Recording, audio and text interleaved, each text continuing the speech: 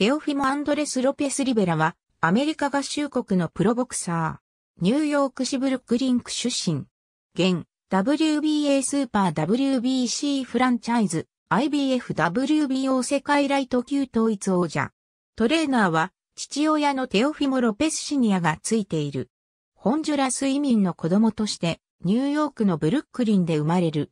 2014年5月、ナショナルゴールデングローブスに 60kg 級で出場し、2回戦で敗退。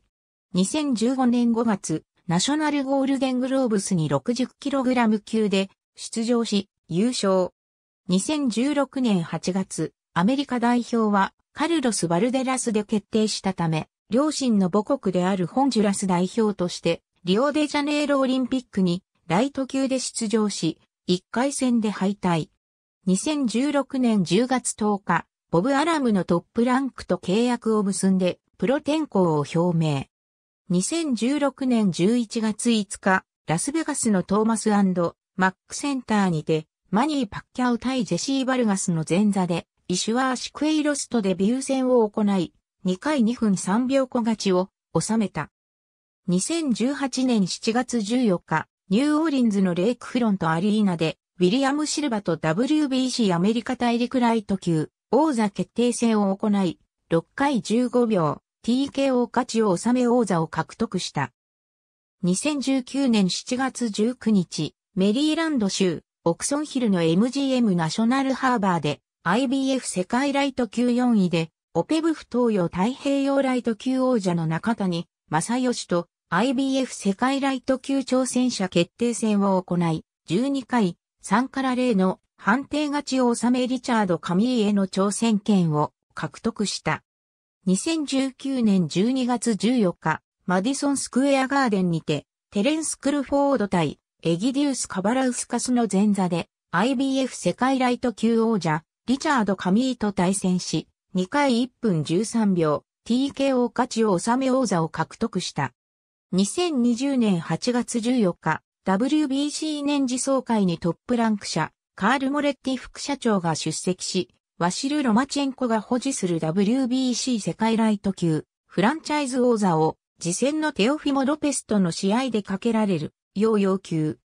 WBC は、フランチャイズ王座はあくまで称号であり、王座としてかけられるものでないとしていたが、これを翻して、テオフィモ・ロペス戦に、フランチャイズ王座がかけられることを承認した。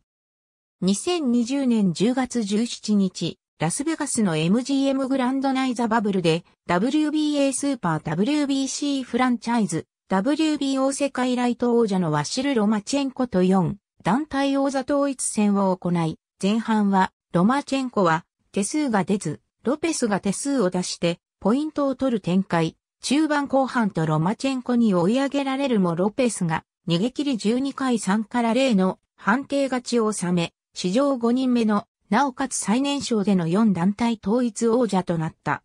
ただし、リングシア BOXREC.com は、WBC フランチャイズ王座を正当な王座とみなしていないため、ロペスを4団体統一王者と認定していない。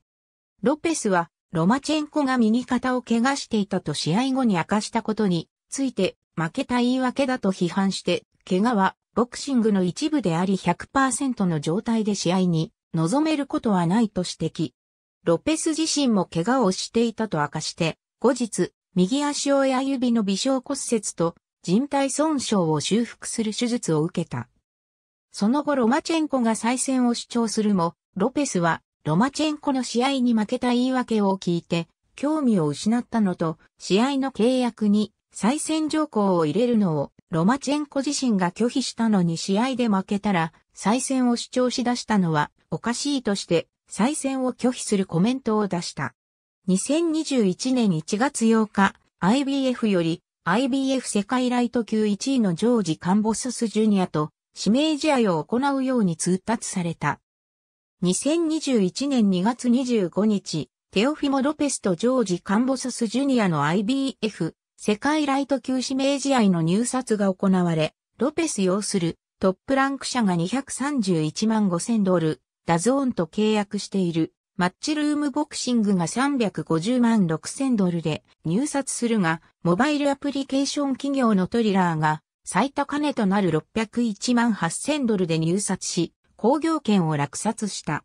この入札結果により、王者のロペスは落札額の65%に当たる391万1700ドルのファイトマネーを受け取ることになった。もともとこの入札はトップランク社が交渉で提示していたファイトマネーに対して自身の価値はもっと高いと考えたロッペスが不満を示しており合わず入札に持ち込まれたものでトップランク社が提示していたファイトマネーは125万ドルほどとされており、ロペスは結果的にその3倍以上の費待を受け取ることになったこと、またトップランク社が入札の競争相手であるエディー・ハーンに入札から辞退するよう促すようなメールを送っていたことが発覚したことで、ロペスはトップランク社に対し提示されたファイトマネーが冒涜であると知っていました。トリラーからの600万ドルはトップランク社が彼らの契約選手の中でも最高である選手に対して評価をしていないことを示しています。次の試合、またはその次の試合で私はフリーエージェントになるでしょう。トップランク社の契約から抜け出すための証拠はたくさんありますと怒りをあらわにした。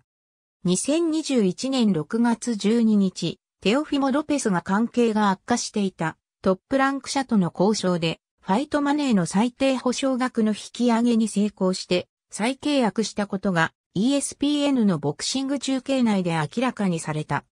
2021年6月15日、ロペスが新型コロナウイルス感染症に感染したため、4日後の6月19日に対戦する予定だったジョージ・カンボスス・ジュニアとの試合が8月14日に延期になったことが発表された。